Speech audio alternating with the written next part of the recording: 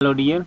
In this uh, video we will study about the parts by volume PBV this is another unit or method to measure the concentration of solution which is defined or you can measure parts by volume like defined as the volume of solute divided by the volume of the solution.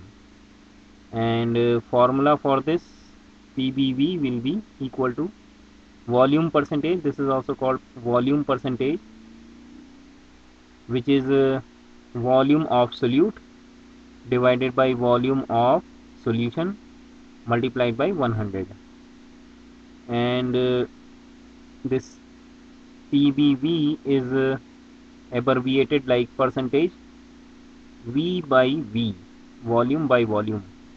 So if it is for an example if it is written like this 10% acetic acid V by V or volume by volume it means. So what does it means 10% acetic acid volume by volume means that 10 ml of acetic acid for each 100 ml of this 10% solution.